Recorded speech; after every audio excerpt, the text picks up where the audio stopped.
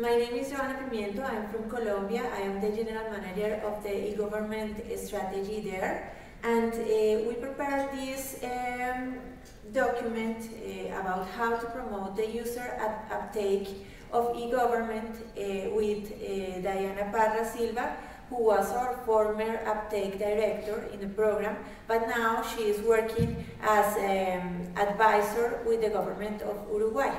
So we prepared together this paper and I'm here to, to share it with you. Let me start with some questions, some questions that maybe are common for you. One is, how much money have your countries invested in it, on e-government initiatives? The other one is, what would happen if people don't use the available online services or all the initiatives that we are promoting by e-government uh, projects? If people do not use the services, what is the value of the efforts made by public administrations? And also, don't we need a critical mass of users to achieve the social return of investment on e-government initiatives?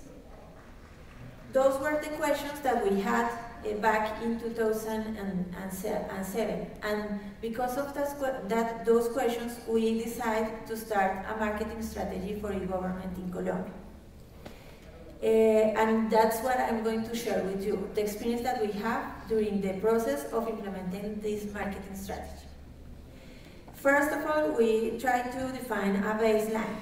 And uh, we make uh, some studies and the first implementation of our monitor, monitoring and evaluation model, and we found something like that. 23% of Colombians have visited a website of the government, just, just only 23%. 77% uh, of the people didn't know how e-government services worked or considered them unsafe or unreliable.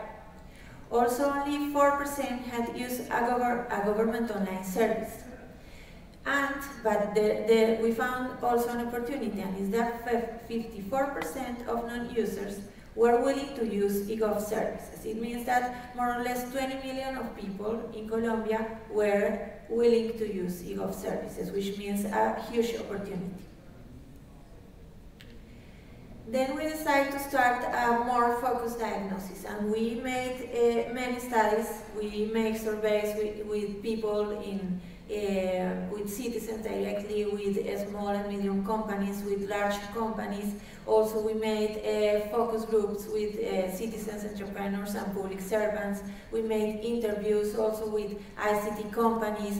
Um, and, and we also take a look to the leading countries. What were they doing in order to uh, guarantee the user uptake of the government service.